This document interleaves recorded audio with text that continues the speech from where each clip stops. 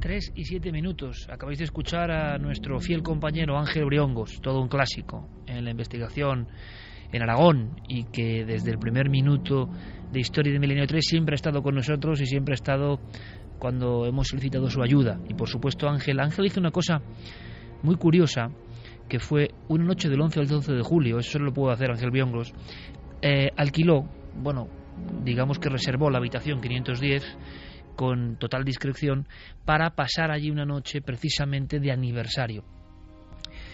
Y claro, aquí estamos siempre en lo mismo, ¿no? Puede ser su gestión o no, pero Ángel, después de varias grabaciones psicofónicas, que curiosamente ahora tienen cierto sentido, y quizá amplifiquemos la, la información en base al sonido, porque él en un principio no le dio mucha importancia, pero nos asegura el bueno de Ángel Briongos que en aquellas grabaciones efectuadas en esa noche de aniversario, concretamente en el 2006, noche del 11 al 12 de julio, se grababan algunas voces que decían es un crimen y después voces de niños o de niñas que se lamentaban. De verdad, cuando hemos escuchado el ay de esta noche aquí en Cascos, yo no sé si vosotros amigos oyentes lo habéis escuchado igual, pero aquí en Cascos nos hemos quedado helados porque parecía eso, una grabación de un lamento que llega desde muy lejos, desde más allá del tiempo. Y también cuenta Ángel cómo en esa sugestión o impresión en la 510 notó, estando tumbado en la cama, escuchando las grabaciones, que alguien le cogía de la pierna, le cogía del pie. Es un investigador avezado, él ha estado en muchos sitios, pero aquello le inquietó especialmente y ha preferido pensar en la fuerza de toda la imaginación, todo el cúmulo de sensaciones que uno lleva cuando está investigando o tiene entre ceja y ceja un tema periodístico, esos temas que se cuelan en nosotros y no nos dejan ni respirar, ¿no? Y eso tiene que tener un peso, aunque es muy interesante ver testimonios que con toda la sugestión del mundo luego no pasa nada. Sugestión no crea todo. Parece que eso se manifiesta cuando quiere y la sugestión amplifica o no, pero no lo crea directamente. A las 3 y 10 de la madrugada, en tiempo real, por vez primera emitiéndose desde el Corona de Aragón. Lo vuelvo a agradecer porque yo pensé, sinceramente, en un principio, cuando lo planteábamos que era imposible, pero hemos contado ¿no? con esta apertura de miras y con esta buena disposición del Grupo Melía, cosa que agradecemos enormemente. Podemos hacerlo y podemos estar con todos vosotros. Cientos de miles de amigos pueden estar reviviendo esta historia e intentando buscar explicación. Parece que hay más grabaciones y esto no es normal. Es decir, que la cantidad de sonidos capturados empieza a ser importante. Ahora en una habitación contigua, no sé si la 511 o la 512, en una habitación vacía, se encuentra Javier Pérez Campos. Javier, buenas noches. Buenas noches, Iker. Le pido a Jerry que baje la, música. Hemos escuchado un sonido de algo que se caía, o que imagino que es algo que has tirado en este momento preciso. No, no, no. Bueno, debe haber sido en la habitación contigua porque aquí ahora mismo estoy... No, no, se ha escuchado junto a ti. Pues estoy... No, y que eres en esta habitación. Ah, perfecto, que estamos interconectados y con el micrófono abierto y es en la habitación 510, por lo tanto. Sí, son nuestras cámaras. Bueno, hay que tener cuidado y estamos todos un poco en vilo, ¿no? Eh, Javier, eh, cuéntanos. Pues estoy ahora mismo en el pasillo de entrada de la habitación 511 en la mismísima entrada, antes de, llegar a la propia habitación, eh, a la derecha se abre el pasillo principal. Detrás de mí tengo la puerta de entrada que emite una gran luz que, eh, crea una gran sombra en el techo y desde luego esa luz eh, impresiona porque es eh, del reflectante, del cartel reflectante del mensaje de ese mapa, ¿no? de ese mapa que aparece en todas las habitaciones de hotel del plano de la habitación en, con respecto al pasillo para poder huir en caso de fuego. hablas de huir y en caso de fuego, que es una curiosa unión con el pasado. Ese mismo pasillo donde tú estás ahora mismo en plena oscuridad eh, o iluminado solo por esos sectores de luz, Javi, es el pasillo por el cual huyó la gente en su día, en tromba, eh, y también es el pasillo eh, que emitía ciertos ecos incomprensibles y que muchos testigos, a través de la pared, incluso aproximándose, como escuchábamos a Eva o a María José Pagador al principio del programa, escuchaban como muchos sonidos de, de gente corriendo pero que no se abrían ni cerraban puertas, gente que, que no aparecía, ¿no? Es ese mismo pasillo. Sí, e, ese es el pasillo que se encuentra detrás de la puerta principal de esta habitación, que está completamente cerrada. Esta sería la puerta que en algunas ocasiones decían que intentando tocar el pomo han llegado a quemarse. Eh, casualmente, esa, esa, fatídica mañana, ¿no? el fuego lo que hizo es eh, que la madera se dilatara y mucha gente quedó atrapada en sus habitaciones porque no podían abrir las puertas. se convirtieron en una trampa mortal. Sí, por eso muchos eh, optaron también por salir a esos balcones que ahora mismo hoy en día eh, son inexistentes. O sea, ¿tú ahora estás dentro de la habitación o fuera de la habitación? Estoy dentro de la habitación. Lo ¿Cerrado? Que ocurre, claro, completamente cerrado. Lo que ocurre es que dentro de esta habitación hay un pasillo, un pasillo estrecho y largo que termina en el inicio de lo que es el propio dormitorio, ¿no? donde está la cama, y a mano derecha está la puerta que llega al cuarto de baño. Oye, Javier, eh, así entre nosotros, ¿no? ya que no se escucha nadie, eh, tú llevas en Zaragoza desde ayer junto con Paco preparando toda la investigación. Em, y mira que tú has estado ya, creo que habrá pocos periodistas del misterio que hayan estado con tal cantidad de impactos en el alma, ¿no? Eh, en tan poco espacio de, de meses o de años, ¿no? O sea, te has recorrido toda la España insólita y lo que no es España y has vivido muchas sensaciones. Y algo que a priori no tiene que dar eh, impresión, como es un lugar remozado, un lugar reformado, un lugar donde nos confesaba Luis Sánchez, el director, que ya no ocurre nada. ¿Por qué desde ayer estás tan inquieto y te impresiona tanto, amigo? Pues mira, justo ayer por la noche yo me instalaba en la habitación 510 para pasar ahí esa, esa primera noche y he de decir que en un principio yo llegaba con una actitud eh, un poco escéptica, ¿no? Había leído, había hablado con gente, habíamos conseguido esos testimonios, pero yo no le había dado demasiado crédito a, todo ese tipo de cosas. Cuando nosotros llegamos por primera vez, cuando yo llego por primera vez a esa habitación eh, y me encuentro además una pequeña notita del director eh, deseándome suerte en la experiencia y dejándome un pequeño detalle, ¿no? Eh, decía para que te ayude un poco en este, en estas noches que vas a pasar aquí.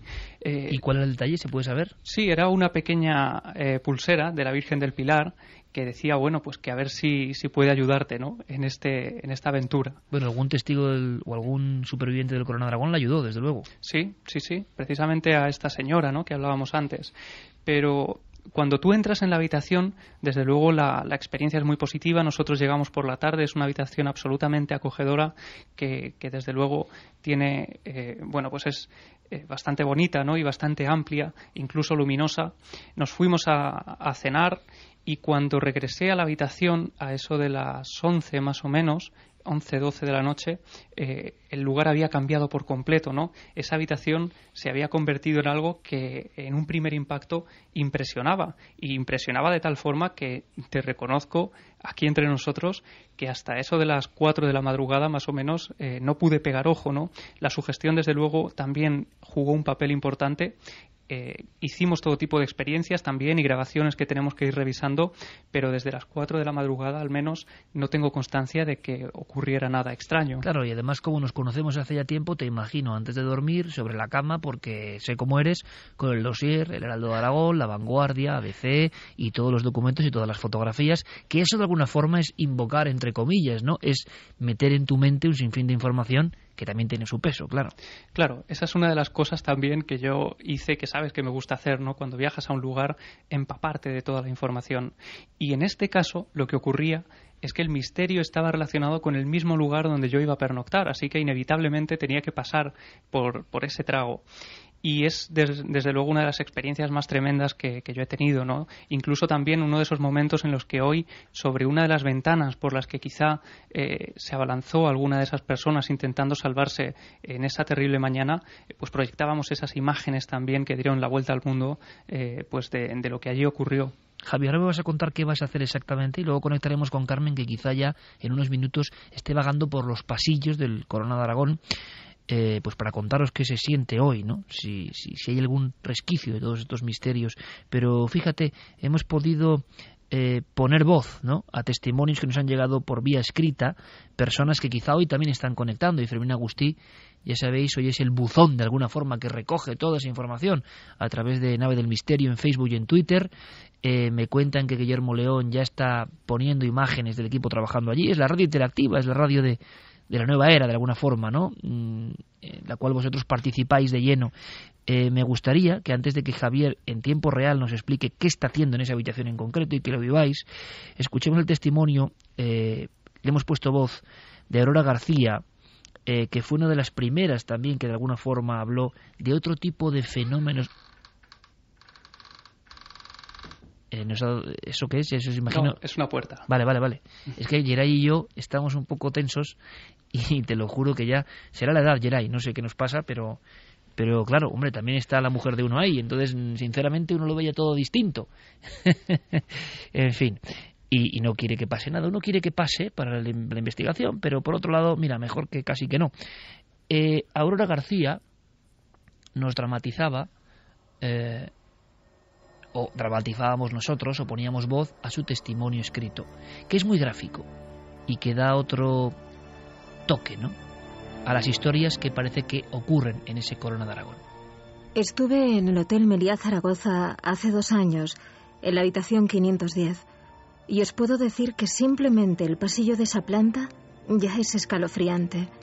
Tienes la sensación de que alguien te observa al entrar. En esa habitación noté una extraña sensación de agobio. No pudimos dormir en toda la noche. Las cosas que había en el cuarto de baño, que era espacioso, se caían cada dos por tres. La televisión se encendió sola varias veces. Las cortinas de las ventanas se movían constantemente. De verdad os puedo decir que a las cinco de la mañana tuvimos que salir de allí porque no podíamos estar.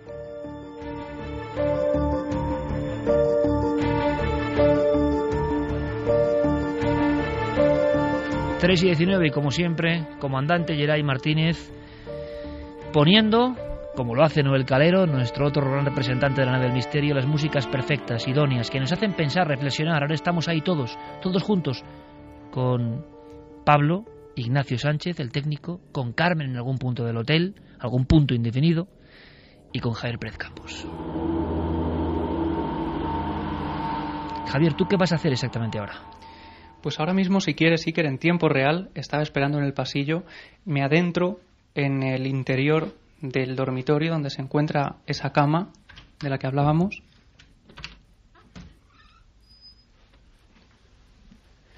Estoy ahora mismo en el pasillo, estoy ya entrando en, la, en esa habitación. Justo delante de mí, Iker, eh, entra la luz de la calle de, por una de esas ventanas ¿no? de las que hablábamos antes. Si quieres, vamos a cerrar por completo estas, estas cortinas para aislar por completo la habitación.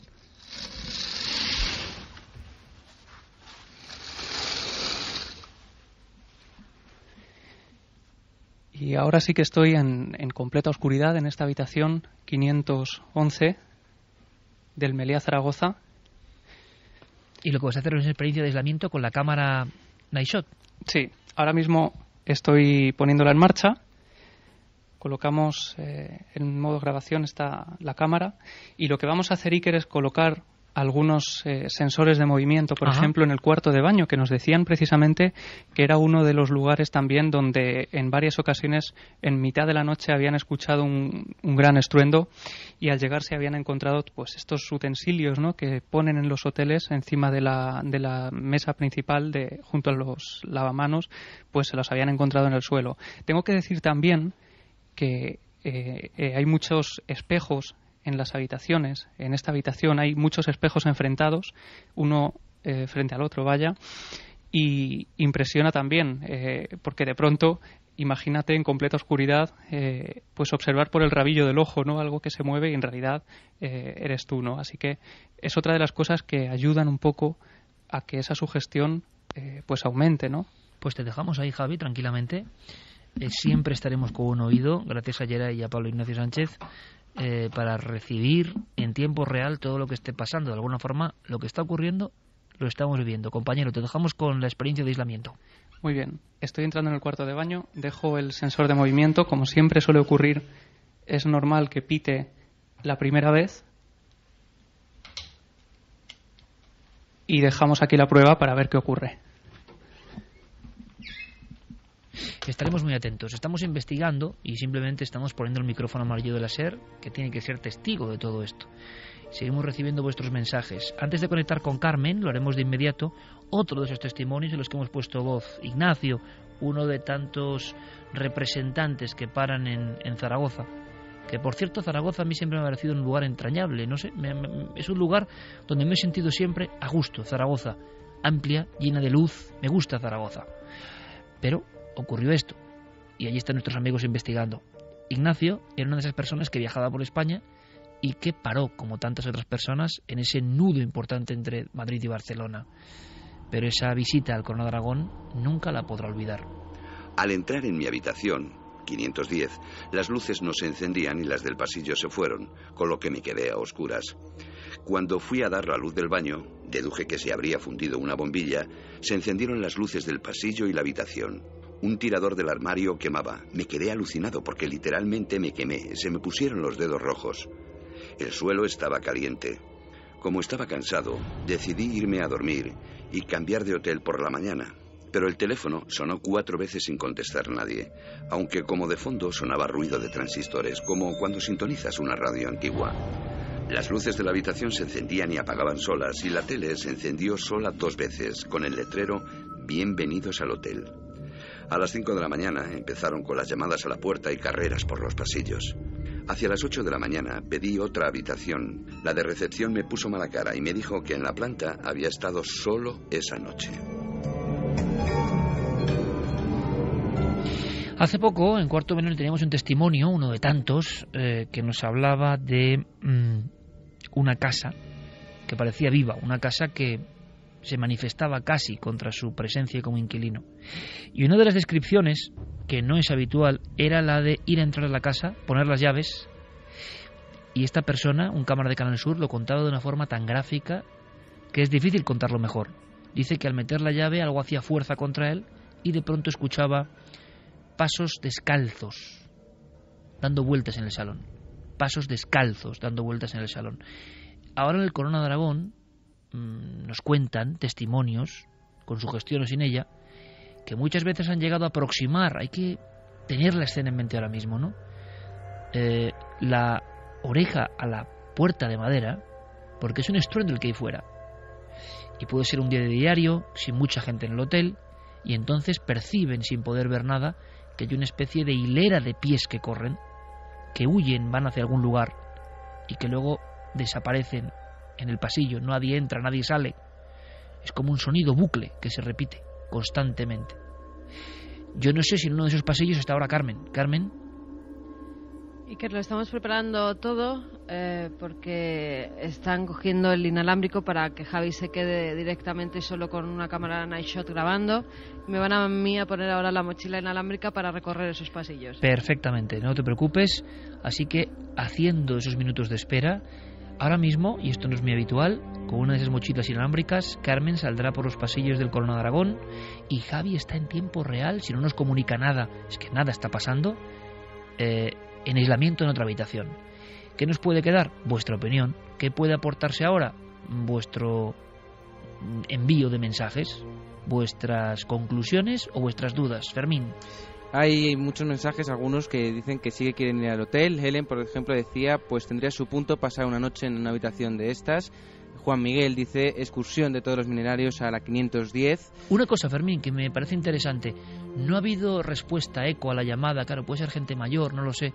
No ha habido nadie que haya escrito, habrá que revisar, claro, durante la semana siempre llega mucha más información, que estuviese la noche de autos en el No. 79. Ese mismo, de esa misma noche eh, no. No, hemos recibido, que yo haya visto de momento, eh, nadie que haya estado allí. Eh, sí hay gente que ha estado en otros momentos, por ejemplo, Miguel decía, estuve en Melilla Zaragoza alojado en octubre, además pregunté por la 510 en recepción y estuve rondando cerca de ella por la noche. Eh, Carmen también decía eh, que seguro que graban grifos abiertos. Yo grabé hace 12 años muchas voces y fue estupendo. Grabó muchas voces, dice. Eso es lo que dice en el, en el Twitter. Eh, luego también, bueno, Luis Ibáñez dice que está encerrado y ver el fuego como los ojos de la muerte te debe volver un poco loco y la única escapatoria es tener que salir por la ventana.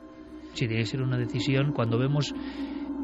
Hay un caso parecido, entre comillas, ¿no? Parecido. Eh, lo hemos dejado así a vuela pluma. ¿Os acordáis del famoso enigmático incendio del Windsor, no? Que nadie sabe qué pasó exactamente, que había dos sombras. Yo solo puedo decir que algún directivo o alguna persona que estaba en las zonas que ahora ocupa un gran centro comercial un día y yo estaba por ahí para comprar juguetes, no para una cosa del misterio. Y me dijeron, textual, vienes por lo que ocurre aquí, ¿verdad? Claro, en ese momento caía la noche, eran cerca de las nueve y media, y aquel lugar tan aséptico y amplísimo, con los juguetes, con las muñecas, se convirtió en un escenario que también cambiaba un poco. Y aquel hombre me decía, es que aquí pasan algunas cosas, y algunos empleados hemos visto algunas cosas, algunas figuras. Y me lo imaginé en mitad de ese lugar que parecía casi un lugar reluciente, un lugar impecable. Pero da igual que un edificio sea nuevo si se ha alzado sobre un pasado. Casi idéntico al Corona de Aragón y con más muertos y más terrible es el caso del edificio Yuelma en Sao Paulo. Las personas veían las mismas escenas. Entre las azafatas de Aviaco se hablaba de ese hombre que intentaba abrir una ventana que no podía.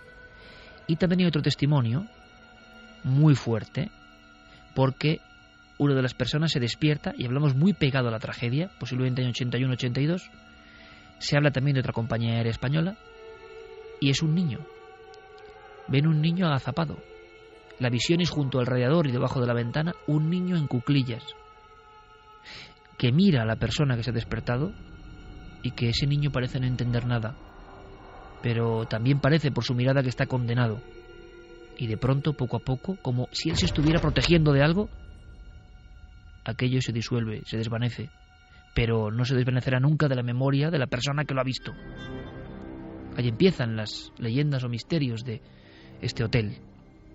Un niño y un anciano, atrapados por el fuego, un fuego que, que nadie ve, pero que ha quedado muy marcado en esta zona del hotel. Más mensajes, Fermín. Seguimos con más mensajes. Eh, Martín Copede decía, el caso del Corona de Aragón en Zaragoza que abordan esta noche me recuerda mucho al Windsor en Madrid, por el misterio que tienen. Iván Krejicek dice que en Milenio 3 el uso de napalm es un intento descarado de provocar masacre por masacre, sin un objetivo claro, solo crear el, el mayor daño. Eh, sigue habiendo mucho debate con el tema de las psicofonías. Eh, Mitran decía divido la psicofonía en dos trozos. El primero parece un gruñido, lo segundo intenta decir algo, pero es imposible saberlo. Pedro Cabrera decía es una voz humana, pero se oye muy, muy, muy despacio. Reproduciéndolo a, más velocidad se podría entender lo que dice. Vamos a ver si hacemos esas pruebas. A mí me gustaría, no sé si es Pablo Ignacio Sánchez quien tiene que volver a enviarlo, Geray, volver a escuchar la de Ay en cierto momento, antes de que acabe la noche. ¿Os parece? Vamos a intentarlo eh, porque yo creo que puede ser interesante. Vamos a ver si tenemos conexión ya con Carmen en algún punto. Te escucho perfectamente, te escucha la audiencia. Pues mira, yo ahora mismo estoy eh, recorriendo los pasillos. He de decir que están oscuras, pero cuando sales de la habitación eh, tienen activado ese tipo de luces que en cuanto ven una presencia se encienden. Con lo cual la luz se me va encendiendo según voy caminando por el pasillo. A lo largo veo solamente oscuridad. Los pasos no se me pueden oír porque hay una, una moqueta por todo el hotel. Eh, mira, estos son mis pasos.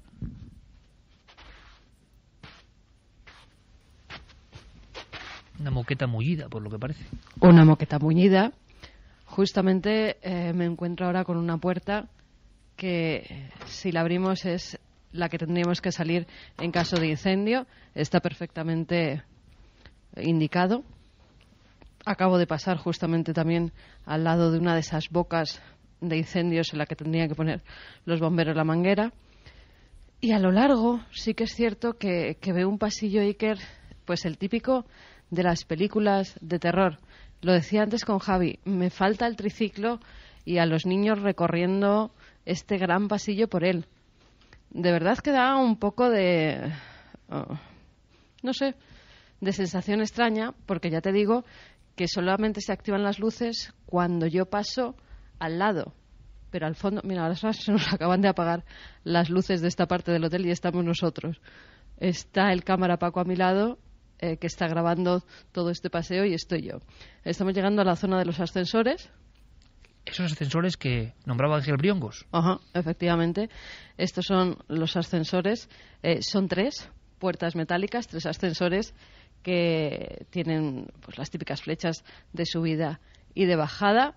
En un principio son ascensores muy modernos, aquí estamos. Incluso me estoy introduciendo en uno de ellos para que podáis ver perfectamente o podáis escuchar ese sonido. Ahí está del ascensor cerrándose, porque hay veces que recopilábamos algunos testimonios de personas que aseguraban que el ascensor subía y bajaba solo sin que hubiera nadie dentro, efectivamente. En un principio está todo muy tranquilo. Como te decía Iker, aquí no nos hemos cruzado durante la noche con absolutamente nadie. Estoy recorriendo los pasillos casi oscuras y la verdad que la sensación es de tranquilidad por el momento. Bueno, pues si quieres, yo me quedo un rato sí, sí, esperando por supuesto, por supuesto. a solas. Voy a sentarme en medio del pasillo para ver si estas luces en un momento dado se apagan del todo y entonces puedo estar yo sola en completa oscuridad y conectar contigo. Perfecto. Y volvemos a conectar. Hacemos ahora, corremos un tupido velo. Esta es la información. Sí me gustaría terminar porque ahora nos espera Diego Marañón con un par de cosas interesantes. Ha habido actualidad.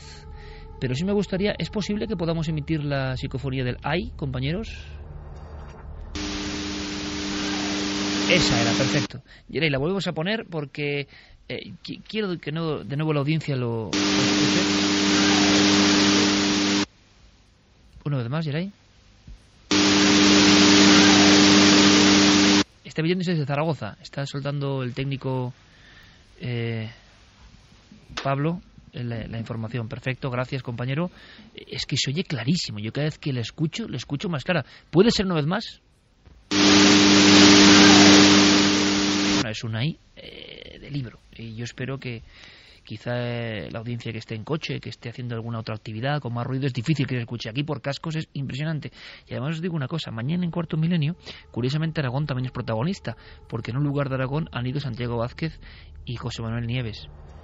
Y han ocurrido algunas cosas que yo creo que mañana no se van a poder ver, todas, pero han ocurrido algunas cosas y alguna le ha ocurrido a José Manuel Nieves, aunque todavía está procesándose, ya está dentro de un par de semanas, creo que no vamos a saber nada, pero creo que algo ha pasado. Creo que algo ha pasado. En fin, eh, las voces, ¿no? Las voces que a veces se cuelan, cuando menos se espera. En este momento Javier y Carmen están escuchando esto en sus respectivos lugares de oscuridad.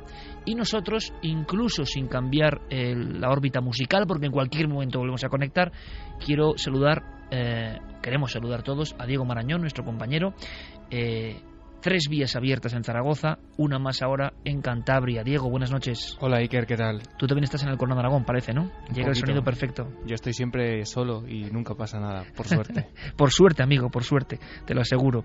Eh, lo hacemos de esta forma tan especial porque nuestros compañeros están en plena investigación y tenemos esa oportunidad de estar pegados. Pero ha habido una noticia muy sorprendente, con algo de profético también, ¿verdad?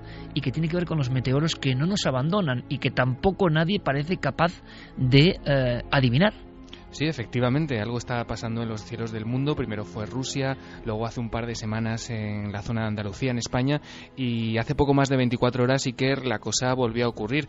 Eh, un meteorito de gran tamaño eh, iluminaba en la noche de este viernes eh, los cielos de hasta 13 estados a lo largo de la costa este de Estados Unidos ponían alarma a la Administración Federal de Aviación, a la NASA, a una serie de organismos oficiales que tardaron unas horas en dar por válida la hipótesis del meteorito mientras se investigaban otras teorías. Y bueno, se cree que este bólido, que era una bola de fuego de color entre verde brillante y blanco, parecía seguir una trayectoria en dirección sureste y, al parecer, según todo parece indicar, eh, puede haber impactado en el Océano Atlántico. Así lo recogía Níker algunos de los informativos ayer mismo. Tenemos el corte número 14 en este caso, eh, noticias de apertura de la mañana en este caso, y hablaban del meteoro. Comenzamos a saber más de esta última hora, un misterioso avistamiento en los cielos. Miles de personas a lo largo de la costa este han informado de un enorme meteorito brillante cruzando el firmamento. Se han registrado informes desde Virginia hasta Boston. Muy pocos vídeos o imágenes han trascendido hasta ahora, pero ahí está, miren la parte izquierda de la pantalla. El código de tiempo del vídeo muestra que la imagen se tomó hacia las 7.53 de esta noche. Los testigos describen el color del meteorito como verde brillante o blanco, con una gran estela, visible durante unos 5 segundos antes de desaparecer desaparecer noticias que además contrastan con alguna declaración importante de algún dirigente importante del ámbito de la investigación espacial. Sí, ha sido muy curioso porque la aparición de este meteorito, de este fenómeno celeste ayer mismo, se produce en una semana que ha estado pues cargada de polémica por las declaraciones de Charles Bolden. ¿Y quién es este hombre? Pues Charles Bolden es nada menos que el actual administrador de la NASA. El pasado martes, Iker, en un encuentro ante congresistas de Estados Unidos, ante los que compareció en la Comisión de Ciencias, este hombre, Bolden, afirmó que actualmente, fíjate que casi que profecía, decía que si un asteroide de un tamaño considerable, de un tamaño considerable, se dirigiese en trayectoria de impacto contra una ciudad como Nueva York, solo cabría hacer una cosa, y lo vamos a escuchar de su propia voz. El hecho crucial, como siempre, es que la financiación no ha llegado, así que la respuesta a su pregunta es, si algo llega en tres semanas, recen. Si lo descubrimos ahora, estas cosas pasan, van a tener que rezar. Sí, y es que los datos, eh, cuando uno se pone a investigarlos y a conocerlos un poco más en profundidad, la verdad es que le ponen a uno un poco los pelos de punta, porque solo conocemos aproximadamente el 10% de una estimación de 10.000 potenciales asteroides asesinos de ciudades. Es decir, aquellos que tienen un diámetro de más o menos 50 metros son los que podrían destruir una ciudad del tamaño de Nueva York. Este dato también lo daba a conocer Charles Bolden en esa conferencia. Afortunadamente, Iker, hay que decir que objetos de este tamaño, de 50 metros de diámetro, al parecer, llegan a la Tierra como media una vez cada mil años. Em, decía Carmen en el pasillo del Corona de Aragón que era un ambiente idóneo para imaginar el siniestro triciclo del niño protagonista del, del exorcista, no, perdón, del, resplandor. Y esas dos niñas que aparecían al final y esa historia de hotel que tiene algo de vida, ¿no? Y que guardas, exacto, que guardas su pasado. Eh, y hablando de películas, y sin cambiar el tercio musical, porque esta noche es así de especial y puede ocurrir cualquier cosa y estamos pendientes en cuanto nos den paso por lo que sea Carmen y Javier, eh, hablamos de una cuestión que es el creal o no, eh, retenido ¿no? durante dos semanas por cuestiones diversas, eh, que hablaba de una maldita película y que quizá nuestro público deba recordar, Diego. la encuesta decía, en concreto, para adelantarla, verdadera, la historia de la maldita película era verdadera para un 44,7% de los internautas y oyentes, falso un 55%. ¿Y cuál era esta historia? Bueno, pues era la historia de una película que, según se cuenta, y más allá de pues el exorcista, la profecía, Poltergeist, los iconos del cine maldito que todos tenemos en nuestra cabeza a fuerza de escucharlo a lo largo de los años, había causado aún más muertes. Había causado y había sido la causa de que el 70 hasta el 70% del equipo involucrado en el rodaje, del equipo técnico y artístico, cayera enfermo de cáncer. Como vemos, eh, nuestro público esta semana eh, ha creído que la historia no se sostiene. 55% y entre ellos, que no está hoy aquí, pero Noel Calero. Efectivamente. Que dijo rotundamente que era falso. Bueno, pues esto me encanta. No dudó, no dudó ni un instante, ¿te acuerdas, no? Me acuerdo, me acuerdo perfectamente y de hecho lo tengo aquí apuntado. Tengo Noel, no, en mi folio. Y, y la pregunta es, ¿Noel sigue siendo el oráculo de los oráculos? Él, a su forma sigue siéndolo porque ha fallado, de nuevo. Es que no ha acertado ni una. llevamos, como 25, 28, eh, créalo o no, y creo que no ha fallado. ¿eh? O sea, no, ha acertado ni una. Por eso es grande, Noel. Grande. Es muy difícil, ¿eh? Efectivamente. Es muy difícil fallar siempre. Pues esta película, Iker, la historia de esta película que se llama todo el mundo coja un lápiz y un papel para investigar sobre ella a partir de ahora. El Conquistador de Mongolia, una película espantosa de John Wayne, hay que decirlo, Em, ¿Qué ocurrió con esta película? Bueno, pues eh, que al iniciar el rodaje todo el equipo se trasladó a una ciudad, eh, en concreto a San George, que está en el desierto de Utah, en California. Un lugar que fue elegido porque era muy parecido al desierto de Mongolia, que era bueno el escenario natural donde tenían que transcurrir los hechos de la película durante las noches que y hay fotos eh, que más o menos lo dejan entrever. Lo curioso era que ese escenario, pues, parecía que eh, emitía un fulgor mm, verdoso bastante bonito y característico. Un fulgor que su procedencia, eh, bueno, pues fue la causa de que el 70% del equipo enfermase, ya que eh, no lejos de donde se estaba rodando la película, el gobierno de los Estados Unidos había ensayado con armas nucleares durante los años 50, es decir, que el reparto y gran parte del equipo técnico había estado expuesto a una radiación que causó o que, bueno, que al parecer pudo ser la causa de que hasta el 70% de ese, de ese equipo enfermase de cáncer en los años eh, que vinieron después. O sea que, que esta historia del créalo o no sí que es rotunda. La mayoría del público pensaba, y es un público, nuestra audiencia, nuestra gente muy avezado, y el 55,3 ha dicho que es falso porque es difícil de creer. Y sin embargo aquí se demuestra el porqué de esta sección, porque hay cosas difíciles de creer que son verdad, terrible verdad en este caso. Efectivamente, bueno, ya te digo, del total de 220 integrantes que participaron en la película, eh, hasta un total de 150 durante los años que siguieron enfermaron de cáncer, lo que, bueno, estadísticamente rompe cualquier, cualquier probabilidad natural. Así que, y lo que apuntábamos también de que el productor Howard Hawks había sido hallado muerto con un rollo de esta película en su proyector eh, privado, también es un dato cierto. Cuando ¿También es cierto?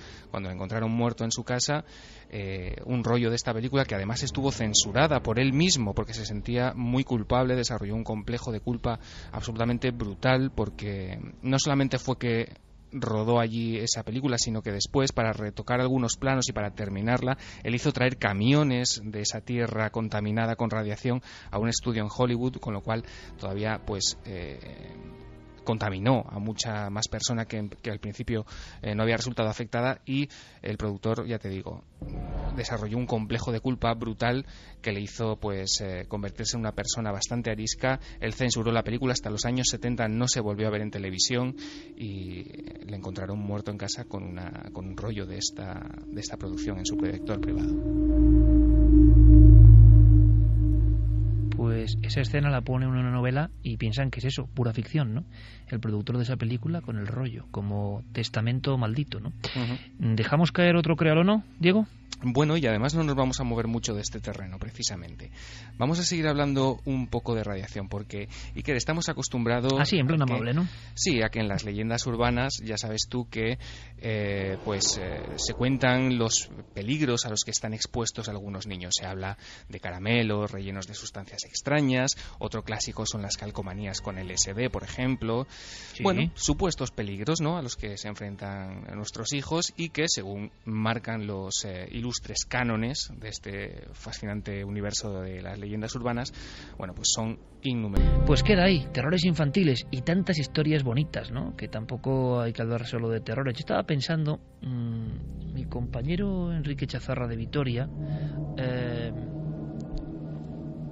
parece que está metido en una historia que tiene que ver con rutas que se hacen por la capital del País Vasco Victoria de Leyenda, si no me equivoco. Y yo le mando un fuerte abrazo a Enrique, que es uno de mis buenos amigos, otro de los fieles amigos, lo conozco hace 20 años.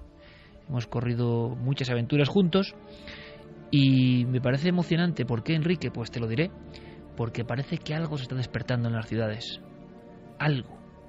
Hace que las personas que eran reacias a estos temas programen visitas de leyenda. Por ejemplo, yo como vitoriano, nací en Vitoria, eh, y además, lo estaba pensando, em, donde yo nací, el mundo en que yo viví, la calle en la que yo me crié, es muy importante para ser como yo soy. Y seguramente nos ocurre a todos. ¿eh? Creemos que no. Pero tenemos un bagaje genético de todo lo que hemos vivido, sobre todo en nuestra infancia, que parece que son años que marcan profundamente nuestra forma de ser, de pensar, de ver el mundo. No son cosas de niños, son cosas precisamente quizá las más importantes de nuestra vida. Eh, el casco viejo de Vitoria, eh, y podéis buscar información, ahora se ve de otra forma y está nuestro compañero Enrique Chazarra, milenario de pro en todo esto.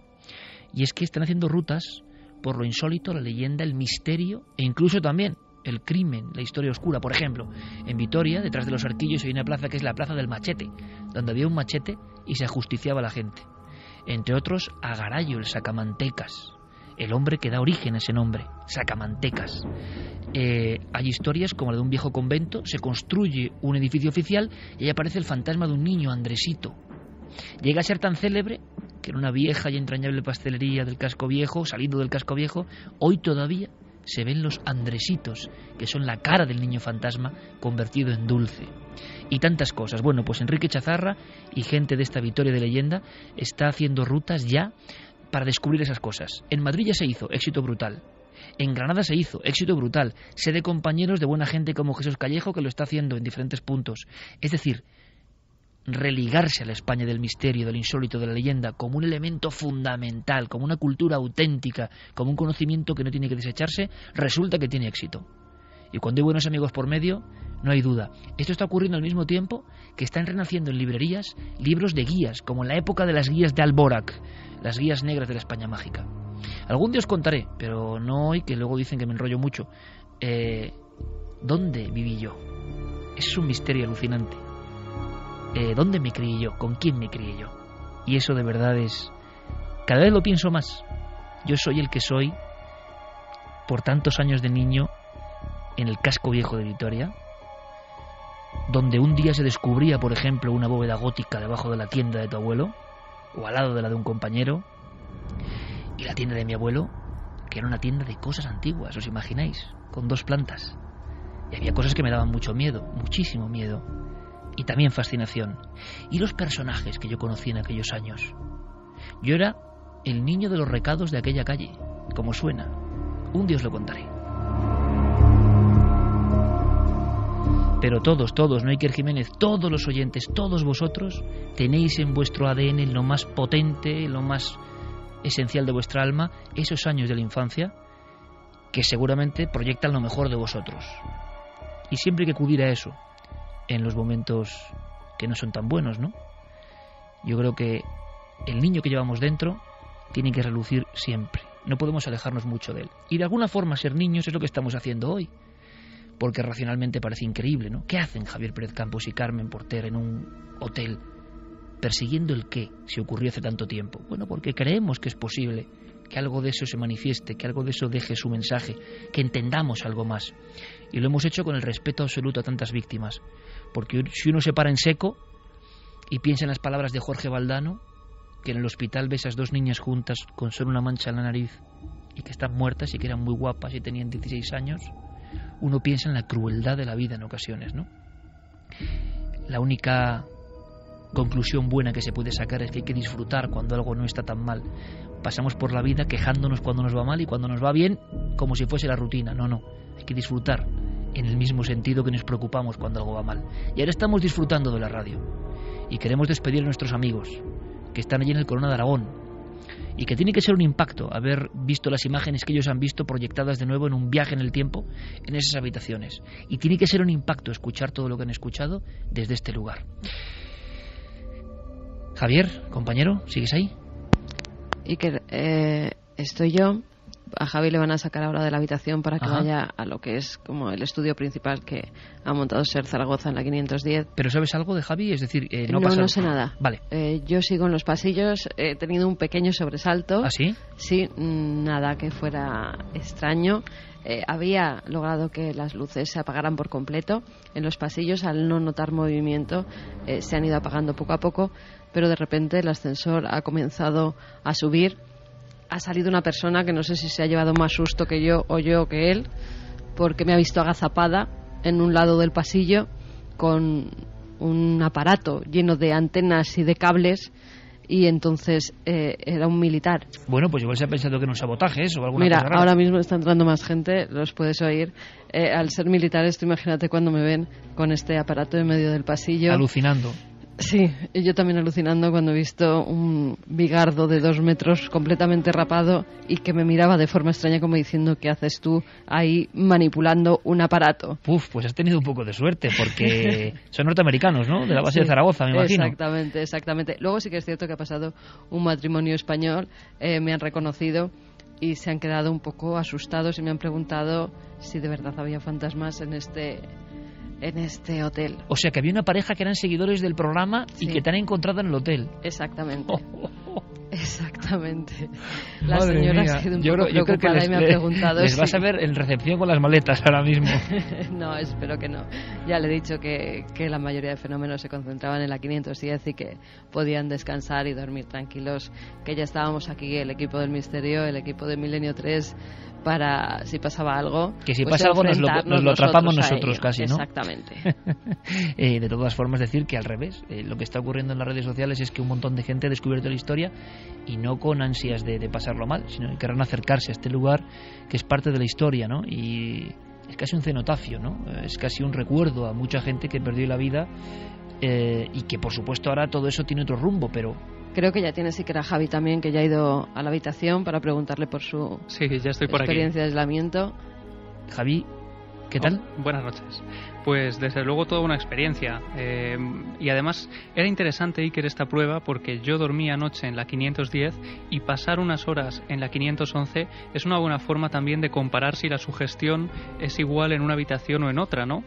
Y te puedo decir que no era igual que la sensación de pasar la noche en esta habitación, en esta 510. Bueno, interesante. Lo que podremos hacer, compañeros, es re- ir revisando. Vosotros os quedáis ahí, trabajando duramente y sobre todo porque, de verdad, eh, nos ha impresionado mucho eh, la inserción psicofónica, sobre todo una de ellas, porque es muy clara. Y, y no tiene mucho sentido que se escuche en una habitación insonorizada ese ay, ¿no? Y esas voces. Habrá que seguir investigando y revisando todo el material. Últimamente está habiendo cierta suerte en eso de las voces y las inserciones. Y yo os digo que mm, quizá no de tiempo a mañana, pero dentro de 10 días o de 8 días muy atentos a cuarto milenio también. Mañana por supuesto, pero dentro de 8 días también, porque yo creo que hay sorpresas en la cribación de mucho material que no va a dar tiempo a dar. Pero eso, que las voces a veces parece que nos quieren decir algo. No sabemos el qué, desde luego. Fíjate que nos decía eh, nuestro técnico aquí, Pablo, que ellos cuando estuvieron montando este mini estudio tuvieron una tarde un tanto movida. Aparte del calor que hacía, que sí que es cierto que el calor que hace en esta habitación no lo hace en otras, ni en la 511, ni en Hablaban la de que calor estoy yo. muchos testigos, ¿eh? muchos testigos hablando de un calor asfixiante que no tenía que ver con el aire acondicionado ni con el, la calefacción, eh, previo a los fenómenos. Muchísimo calor. Eso sí que es cierto. Hace mucho calor dentro de esta habitación. Y Pablo nos decía que cuando ellos estuvieron montando el estudio fueron llamadas constantes al teléfono. Y que inmediatamente cuando eh, alzaban el auricular, allí no contestaba nadie. Eso les pasó a ellos. Sí. Es que es curioso porque es lo que definen muchos testigos, ¿no? Que puede tener un origen normal, pero alguien llama, alguien llama muchas veces a la 510 con algún Sí, objetivo pero que no entendemos, Además, ¿no? aquí hubo una cosa recíproca, ¿no? Y es que desde recepción también empezaron a, llevar- a llegar llamadas constantes desde la 510 cuando nadie estaba llamando. Bueno, pues coincide lo que le ha ocurrido a nuestros compañeros que han hecho un magnífico trabajo. Quiero agradecerle a Pablo Ignacio Sánchez, eh, tantas veces mencionado hoy, porque la cadena SER la compone mucha gente que trabaja durante horas y horas y por eso la SER es la SER, porque ahí están, ¿no? Peleando duro y haciendo que esta noche hayamos vivido, respirado casi, eh, ese ambiente, ¿no? Para algunos recreado como humo intenso y terrible que volvía a producirse. Nosotros no hemos tenido esa experiencia, vosotros. Y digo nosotros porque casi hemos estado ahí. Y eso gracias a la técnica de nuestros compañeros de Ser Zaragoza, que se lo agradecemos un montón.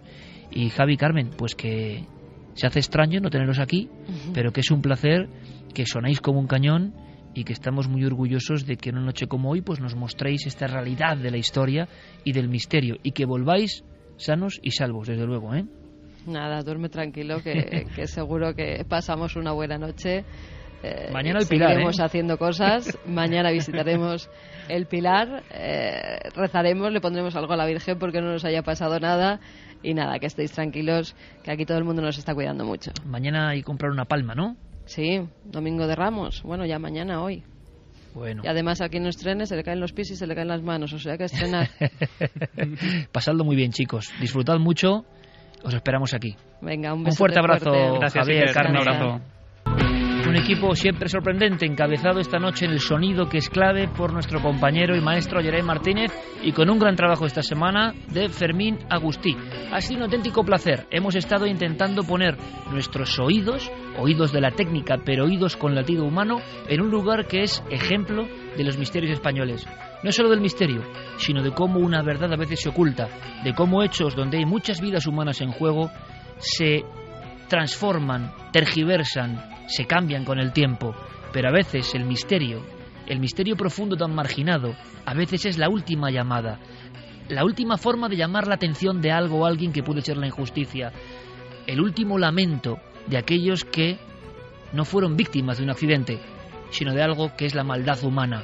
Así que en su honor y en su recuerdo, nuestro programa, en directo por primera vez en la historia de la radio, desde el Hotel Corona de Aragón, habitación 510. Ha sido un placer. Mañana nos vemos en Cuarto Milenio. Os dejamos con nuestros compañeros y las noticias. Y que paséis una feliz semana. 3 y 6 minutos. Shine Your Crescent Diamond es una canción que se ha convertido eh, que nos diga si hay hermanos del cosmos, si todo este ensueño de la vida tiene algún sentido, si no somos los únicos, si ahora mismo alguien más nos está escuchando. Para vigilar la senda infinita de lo sideral se llama Alma.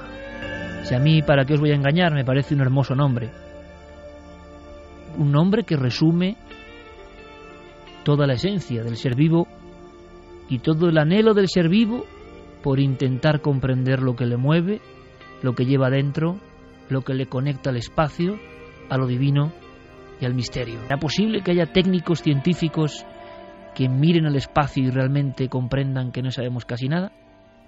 Yo he encontrado con uno, he tenido el placer de entrevistarle.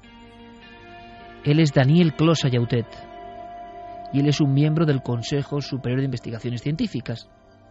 Ni siquiera es, con todos mis respetos, un divulgador de lo científico, un conocedor de una rama de la ciencia, es una autoridad en la materia científica. Y se ha atrevido incluso a hacer un dossier, un libro que se llama Cien enigmas que la ciencia todavía no ha resuelto.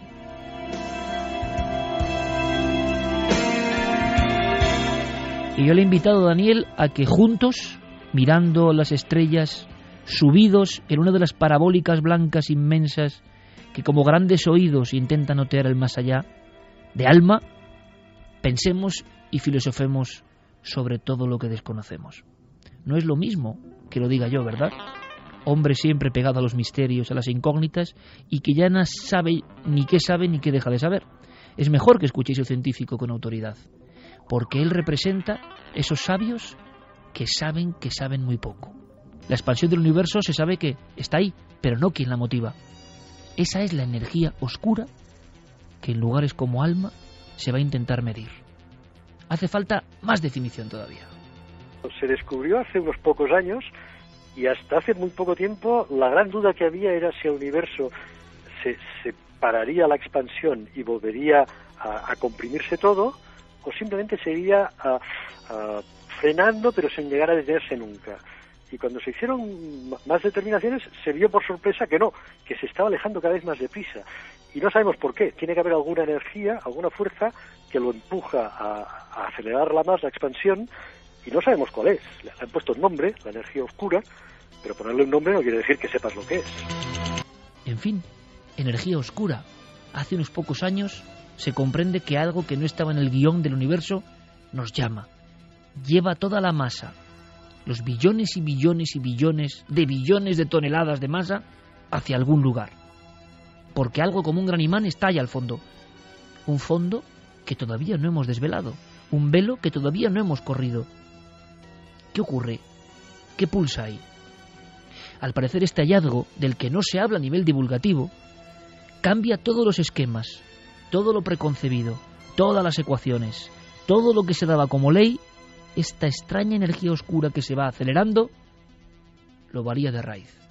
Descubrimos que existía hace muy poco tiempo, por lo tanto, ah, nada, se cambiaron todos los esquemas y ahora empezamos a repasar todos los datos para intentar entender qué es. Esto es lo fascinante de ir consiguiendo más datos y fue una sorpresa total, fue una sorpresa total, nadie daba un duro por esto. Ya te digo, la, se daba por seguro que la, expansión iría siendo frenada por la gravedad, que la gravedad atrae las cosas entre sí, por lo tanto, si dos objetos se van separando, pero hay una fuerza de gravedad que los atrae, pues los va frenando. Y de pronto hay una especie de gravedad negativa, o no sabemos cómo llamarlo, que no, que lo está contrarrestando y empujándolo más deprisa para afuera. Pues, pues ahora sabemos que eso existe, que eso sucede, a no ser que sea algún error en los cálculos, que eso nunca se puede descartar, pero pero habrá que explicarlo y habrá que mm, buscar una teoría nueva. Carl Sagan, al inicio de su célebre serie Cosmos, se colocaba en un acantilado delante del océano y de alguna forma, con esa sola imagen aérea, nos sentíamos como se siente la humanidad entera delante del espacio, en las orillas del océano cósmico. Porque claro, energía oscura, poca gente, yo creo, que no sea científica, conocía esto. Esa especie de T tampoco lo entendíamos muy bien.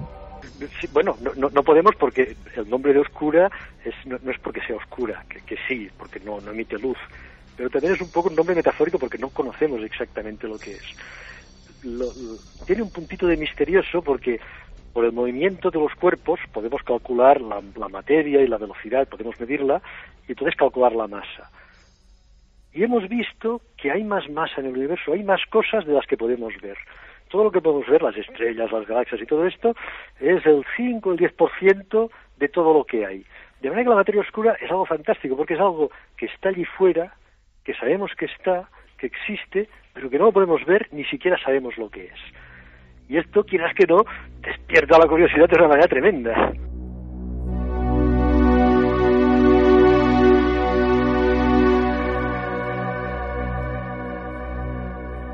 3 y 23. Sigue nuestro viaje cósmico y os invito en esta nave del misterio a que ahora mismo os abandonéis, si podéis, y no estéis conduciendo, evidentemente, o trabajando. Cerréis los ojos y imaginéis esos mundos que ni nosotros, ni nuestros hijos, ni las miles de generaciones que vendrán podrán siquiera atisbar. Por mucha que sea nuestra tecnología, ahí podemos hacer un cálculo. Por mucho que el hombre avance, por mucho que los observatorios como Alma y sus lentes infinitas lleguen, el universo, esta extraña broma, este extraño sueño, este extraño milagro donde vivimos, seguirá más allá, expandiéndose a miles de millones de años luz. Y ahí habrá estructuras, visibles e invisibles.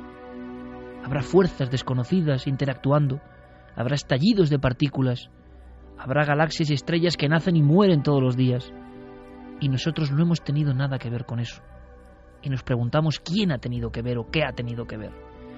Una respuesta sencilla es pensar en el azar. Cuando uno simplemente ve las filmaciones, por ejemplo, del telescopio Hubble, ante esa belleza, ante esa creación es muy difícil pensar en el simple azar. Y si no es azar, ¿bajo qué plan estamos viviendo?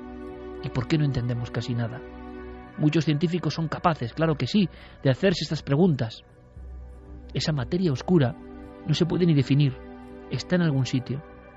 Muchos de los misterios que ahora nos parecen flashazos, que nos parecen sueños, alucinaciones, que con nuestra pobre lupa de seres humanos perdidos en la nada podemos explicar, claro, nuestra forma, creyendo tener la verdad, todo esto que nos parece misterio dormirá en partes de esa materia oscura, que quién sabe si puede llegar a interactuar con nuestra realidad. Todos esos sueños y fantasías para algunos pueden manifestarse o decirnos algo o ser una señal de esos mundos que en el espacio existen y de los que no tenemos ni la más remota idea, solo que ahí están, desafiantes a veces. Materia oscura es enorme. Lo conocido del espacio es un 4%. Lo visible del espacio, aunque hemos llegado a niveles prácticamente de ciencia ficción, es un 4%.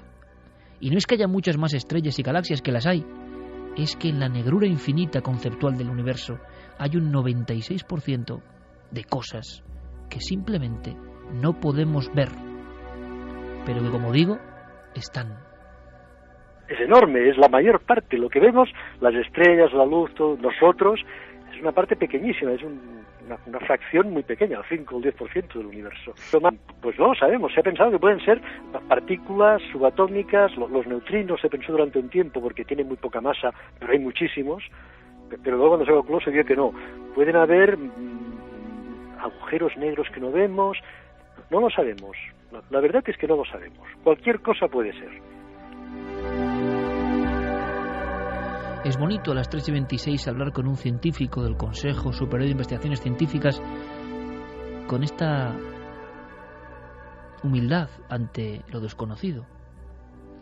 Desde pequeño, cuando vi Cosmos, hubo un término que me sorprendió. Hubo un término que algunos, y quizá me estén escuchando, buenos amigos ufólogos que en el fondo son niños grandes que sueñan como yo con la posibilidad de que los seres del espacio, ¿por qué no?, hayan venido, nos hayan visitado, nos hayan instruido, nos hayan creado, quién sabe es imagen y semejanza, y luego, evidentemente, viendo el resultado a veces, se hayan marchado muy lejos. Ha habido grupos ufológicos como el grupo Quasar, de mi amigo Saturnino Mendoza, que fue histórico en Extremadura, y todos adoptamos al principio de los 80 ese término como misterio puro y duro, Los cuásares son formaciones que están en los límites del espacio visible, en la última frontera. En la última frontera hay chorros impresionantes de luz que parten de lugares y esa luz del principio y confín del universo, del principio de las cosas, llega hasta nosotros, atraviesa nuestro cuerpo, nos escanea constantemente y no sabemos lo que son. Los cuásares, esas fuentes para algunos de vida al final del espacio, siguen siendo observados y con toda nuestra tecnología, con todos nuestros medios, no hemos logrado. Siguen siendo un punto ínfimo, poderosísimo, pero no podemos acercarnos. Es la gran batalla del hombre. El hombre con todos los medios abandonó los mares y se lanzó al espacio. Pero los cuásares, todavía, esta misma noche, están demasiado lejos en su propio misterio. Primero se pensó que eran estrellas. Por eso llaman cuásar, porque quiere decir cuasi estrellas quasistar en, en inglés. Pues se llamaban cuásares porque eran como estrellas, se veía que emitían luz, pero cuando se vio la distancia estaban en los límites del universo observable, estaban lejísimos. Entonces, estando tan lejos, si los podíamos ver, quería decir que emitían una cantidad de energía tremenda. Era como si una estrella emitiese tanta luz como una galaxia. Entonces, durante mucho tiempo eh, fueron un misterio, estaban ahí lejísimos, son los objetos más lejanos que, que tenemos noticia, que, podemos detectar y emiten una cantidad de energía tremenda. Ahora pensamos que pueden ser núcleos de galaxias en formación, pero la verdad es que la cosa aún está bastante, ah, bastante en el aire. Sí, los rayos cósmicos son, muy divertidos porque hay dos tipos de rayos cósmicos. Hace, hace relativamente poco, hace unas pocas semanas, descubrieron que el origen de los rayos, de, la mayor parte de los rayos cósmicos eran emisiones procedentes de antiguas supernovas, de estrellas que habían explotado y emitían una gran cantidad de radiación. Y como el espacio es muy grande, siempre hay alguna estrella en cualquier dirección que, llega. Y yo pensé que, ay, ya me han chafado uno de los enigmas, ha dejado de serlo. Pero no, porque hay un tipo de rayos cósmicos muy concreto, con mucha energía, por eso se llaman rayos cósmicos ultraenergéticos, que tienen demasiada energía. Según las teorías que, que manejamos, tendrían que haber perdido energía por el camino y, en cambio no lo han perdido. No sabemos de dónde vienen, no sabemos qué fenómenos los, los genera, pero son de los fenómenos de radiaciones más, más fuertes y más potentes que hay, que, llegan muy pocos a la Tierra, ¿eh? se detectan media docena por año nada más de, de, rayos que llegan. Y estos extremadamente potentes pues, pues son uno de los misterios que todavía tenemos que saber de dónde vienen. Nunca antes Habías estado tan cerca de lo desconocido. Milenio 3. Cadena. Hay misterios, hay cosas que ocurren y vamos a viajar a España, a nuestro granito de arena más pequeño, al nuestro. Ocurren cosas bonitas. Muy pocas veces un reportero, y tú lo sabes bien Javier, tiene la suerte de encontrarse con un hallazgo de primer nivel. Y no hablo de misterio, hablo de cosas físicas. Eh, yo recuerdo con Carmen, con Sergio, con el equipo que estábamos rodando el Salto Infinito, un momento histórico, fue muy de película, ¿no? Los investigadores descubrían algo detrás de lo visible. ¿Es posible que un reportero de cuarto milenio descubra algo que lleva varios siglos escondido? Es posible. Nacho Ares, compañero, buenas noches. ¿Qué tal? Buenas noches, Iker. Gracias por visitarnos estas horas intempestivas. Acabas de llegar y una comarca además con mucha magia, ¿verdad? Con mucho misterio ancestral. La Maragatería, en Astorga, un lugar mágico, como bien dices, que todavía conserva muchos de esos enclaves misteriosos en donde la sorpresa pues nos ha, eh, nos ha gratificado con, con un hallazgo realmente curioso y que nadie esperaba. Estamos en un mundo y en un país donde creemos que todo está absolutamente ya medido, mapeado, lo digo muchas veces escaneado, y sin embargo eh, los lugares de poder siguen teniendo ases bajo la manga. Tú acudías, Nacho, a una zona concreta de León, en este caso para averiguar una serie de hallazgos que ya de por sí eran curiosos, es decir, el reclamo era en sí el descubrimiento de una pintura extraña, como tantas veces pasa, detrás ¿no? de unas mm, capas de pintura o de cal. Cuéntanos la historia que te obliga a ir hacia esta zona en concreto. Pues hace un par de semanas o tres aparece en el diario de León la noticia de que en Gordaliza del Pino, un pueblecito de, León muy cerquita de Sagún, aparece detrás de un retablo, en una pequeña capilla, en un pequeño nicho de la, de la pared de la iglesia, una pintura con, donde se describe un caballero. Un caballero totalmente insólito, extraño, porque no está rodeado de ningún elemento religioso, lo que le haría pues tener cierta lógica a la hora de encontrarlo ahí. No, no es extraño que en las iglesias de León aparezcan este tipo de, pinturas. ¿Por qué? Porque a lo largo del siglo XVIII, sobre todo, debido a la, peste, muchas de estas iglesias se encalaron en el interior y las pinturas, que desde época románica, como sucede con, estos templos, eh, se ocultaron, se taparon, no se destruyeron y quedaron bajo capas y capas y capas de cal con la idea errónea, por otra parte, de que la cal iba a repeler la presencia mortífera de la, de la peste. No es curioso que en muchas de estas iglesias también vamos a encontrar calaveras de niños formando pequeños amuletos en ocasiones crucifijos, eh, también por esa misma idea, ¿no? mezclando elementos paganos y elementos cristianos para intentar eh, ahondar un problema que se les escapaba de las manos a los, a los habitantes del León. Y es que, claro, parece que hablamos de cosas de película, pero la Castilla eterna, Valladolid, León, Zamora, tienen sus estructuras en contra de la peste esas cruces de calaveras son ya un clásico y a veces de alguna forma protegían el lugar, ¿no? O querían santificarlo o querían casi purificarlo. Y claro, en las capas de atrás, con una inmensa cebolla ¿no? de la historia, quedaban los antiguos símbolos y códigos tan misteriosos como este caballero, este caballero que te obliga al viaje. ¿Y de este caballero sabemos algo o no?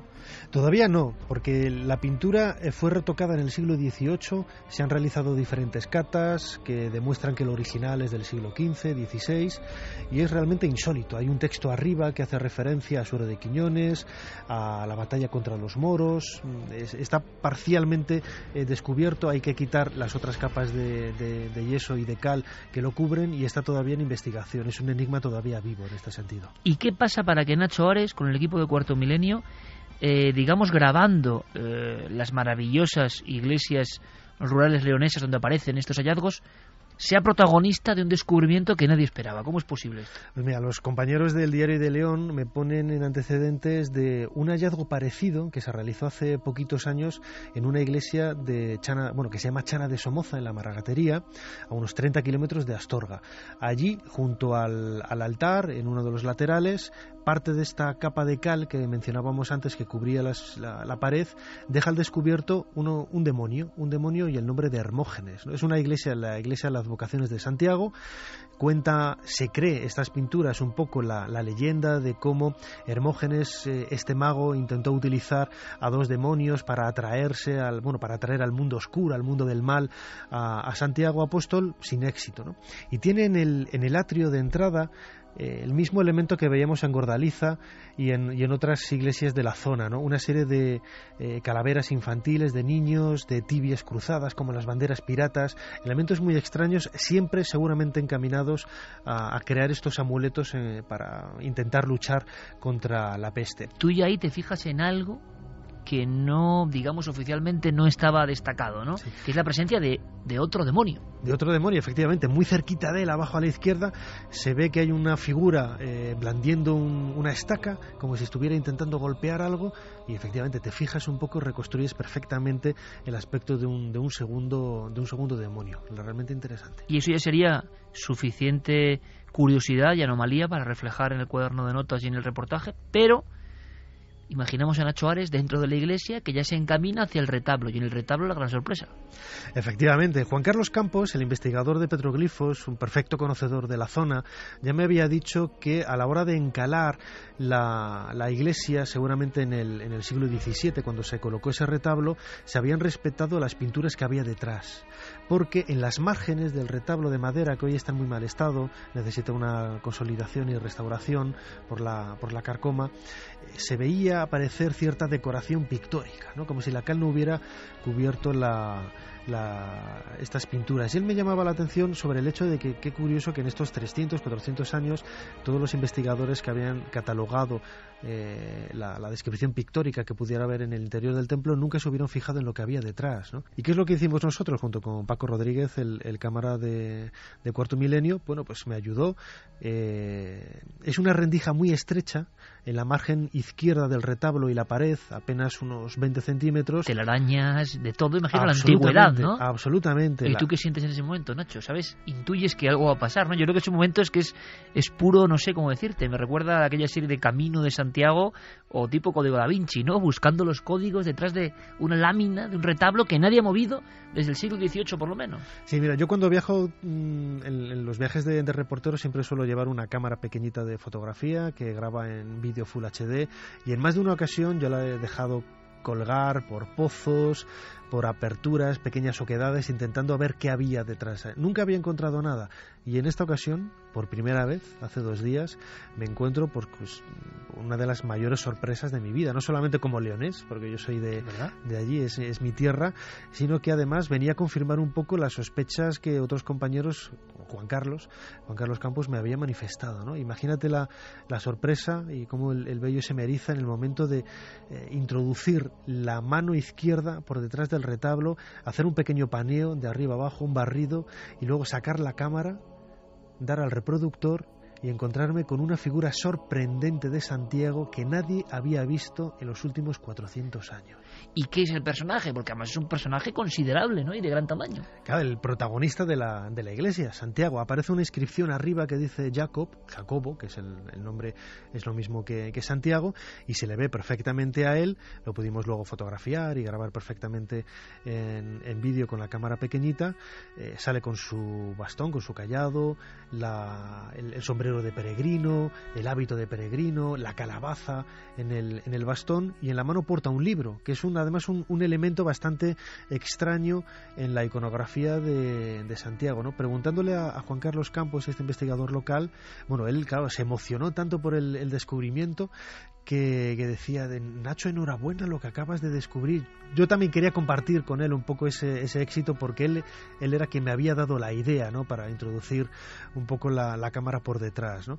Y, y, él me decía que bien podría ser una representación de ese libro de la Biblia o bien del propio Codex Calixtinus, que es una representación, no deja de ser curioso, El famoso ¿no? libro, el famoso muchos libro amigos y amigas estarán pensando, el famoso libro eh, robado hace poco tiempo y, y, devuelto, ¿no? o localizado, y que tantos ríos de tinta ha hecho correr eh, es impresionante porque habrá que estudiar esa figura, pero todo esto nos demuestra, Nacho, que, claro, cuántas cosas puede haber ocultas todavía eh, en esa Castilla y en cualquier lugar de España, ¿no? Eh, detrás de retablos, detrás de capas de cal, pero curiosamente en esa misma iglesia un demonio que no se conocía, un Santiago con un manuscrito, un libro que no sabemos qué es. Hombre, quedará el estudio, quedará para historiadores también y para expertos, pero qué curioso, a veces, como ocurre, tú lo sabes muy bien en la arqueología, no es precisamente el estudio sistemático, sino la emoción, el arrojo, el riesgo en ocasiones, el que te lleva al hallazgo, ¿no? Y el que hace que esa pieza ya pase a formar parte de lo conocido cuando llevaba en la penumbra cientos de años, hay que pensarlo. Claro que sí, además hay que pensar, como decía antes, que el retablo está en, malas condiciones, necesita una restauración. Eh, Doña Asunción, la mujer que me abrió la, iglesia, estaba pendiente de todo lo que yo hacía. Yo le pedí permiso en todo momento para poder subirme al, lugar donde lo hice con todo el cuidado del, mundo. Nunca me apoyé en el propio retablo para, para no dañarlo. Y hay que pensar que este tipo de, de, de hallazgos lo que nos hace ver es la realidad de estos lugares sagrados, que incluso, fíjate, en el siglo XVII es por así decirlo, podríamos eh, decirlo sin, eh, sin, temor a equivocarnos, se cegó. Es decir, al encalar todas las paredes, que seguramente están todas cubiertas de pinturas bueno, en todo el perímetro del, del, templo, lo que se hacía era cegar el monumento. Hemos y, perdido, y ocultar su poder también de alguna efectivamente, forma. el lugar no deja de ser un lugar sagrado, ¿eh? pero hemos cegado hemos cegado el verdadero sentido de esa magia de las pinturas que cubrían la iglesia de, de, Chana de Somoza, que por la tipología, yo tampoco soy experto en este tipo de cosas, pero parece ser unas pinturas del siglo XV, del siglo XVI a, a lo sumo. Que ¿no? se dice pronto, totalmente desconocidas y que no aparecían en ningún catálogo de estudioso oficial, ¿no? Yo creo que es un momento muy emocionante y por eso queríamos compartirlo con toda la audiencia. Nacho Ares, eh, encabezando un equipo de cuarto milenio, descubre pinturas que estaban ocultas, pinturas que son parte de nuestra historia y de la historia de los leoneses, ¿no? Yo creo que es un premio maravilloso, Nacho, enhorabuena y que, y que siga la aventura, que siga la búsqueda y que animemos a muchas personas y a grandes investigadores locales que hay con muchísimas ganas, a veces con pocos medios, porque estos estas sorpresas, ¿no? estos ases debajo de la manga, decíamos, de la propia historia, están ahí para ser descubiertos. Un abrazo muy grande, compañero. Gracias y seguiremos la investigación. Muchas gracias, Iker. Buenas noches. Enhorabuena. Gracias. Fermín Agustí, última ristra de mensajes. Hola Iker, eh, Sergio nos dice las iglesias guardan más secretos de los que creemos. Seguro que el Vaticano nos esconde ciertos de maravillas. Oye, Eh, por cierto, cientos de maravillas será. Por cierto, eh, Javi, en... es que cualquiera que haya investigado un poco en lo que es las iglesias españolas, me acabas de mostrar en tiempo real, en tu tableta pequeña ahí, un dragón, como de no sé cuántas, imagino igual es la bestia de siete cabezas, no lo sé, encima de una iglesia de Ciudad Real que estaba ahí eh, oculto y que por accidente, ¡pum!, emergió después de siglos. Sí, es otra de esas pinturas que estaban reservadas eh, pues en el interior de la iglesia de Santiago, de Ciudad Real. Aparecieron en unas obras. De en- Santiago, también. Sí, también de Santiago, también eh, relacionada con, con Santiago. Y aparecen en el año 1985, cuando se inicia una restauración para intentar dejar la iglesia eh, lo más parecido a como estaba en el siglo XIII. Y ahí aparecen esas pinturas, esas pinturas de un dragón de ocho cabezas eh, en, en los nervios del ábside de la nave central que además eh, se estima que podría ser del siglo XV-XVI. Pues es impresionante, Javi. ¿eh? Pero lo cierto es que hasta día de hoy, Iker, no se sabe muy bien qué hacen allí esas pinturas. Hay un código oculto, un código que, que quien lo hizo sabía muy bien para qué y para quién. Desde luego parece el Leviatán, ni más ni menos, pero eso sí, coronando el ábside de una gran iglesia, pues es sorprendente. Más mensajes, Fermín. La gente se ha quedado bastante impresionada con el testimonio de, de Javi. Darvos, por ejemplo, decía, esta historia te hace pensar, el don de ver fantasmas se transmite en los genes. Perdicas Berre, Interesante, interesante mensaje. Perdicas Berre dice, me da la impresión que cuando somos jóvenes tenemos capacidades sensoriales que después las perdemos y es una lástima. Decíamos, Fermín, en un principio, y Javier, aquello que decía Miguel Hernández, ¿no? El niño como reflejo, como imagen de, de nuestra esencia más pura, como nosotros mismos, nuestro ser más primigenio. Y me quedo pensando en eso de la genética, porque no es raro, no es raro. Claro, es como todo, la visión racional dirá, no, es que son problemas mentales que se heredan, o, bueno, claro, en algunos casos podrá ser problemas mentales, igual un día hay que saber qué son esos problemas mentales y que no todo tiene una explicación racional, pero son muchos los casos, muchísimos, donde madres, hijas, abuelas, nietas, padres, hijos menos, eh, porque hay ese vínculo real de haber estado en el otro ser. Eh, la mujer que da luz, el ser, hay una conexión, un hilo que no está muy bien descrito. Y en muchísimos casos, y eso no es síntoma, yo creo, para nada de ningún problema, se viven esas percepciones. Es fácil que la madre haya tenido una sensibilidad especial y que la hija lo herede, cosa que nos parece muy bien. Antonio Rubio nos decía, los niños son los que tienen una gran imaginación y después esa imaginación se convierte en realidad, porque los niños son increíbles. Qué bonito mensaje, sí señor, bonito también. La imaginación es capaz casi de cobrar forma, ¿por qué no? Victoria nos decía, algunos cuando somos pequeños sentimos y vemos cosas, luego lo podemos bloquear con miedos, pero están ahí. Bueno, Fermín, bloquear con miedos o que llegue el lenguaje, llegue la sociedad, te digan lo que es posible y lo que no, te digan lo que tienes que pensar y lo que no, te diga tu círculo mm, más cotidiano, incluso lo que es la vida y por donde hay que transitar, y tú sin darte cuenta estás perdiendo ese tesoro que en el fondo todos queremos recuperar cuando nos damos cuenta que es de lo más valioso de la vida, ¿no? Esa visión especial de los niños, pero que todos, de alguna forma, entre todos, nos la vamos arrancando. Fermín, compañero, gracias, como siempre. No.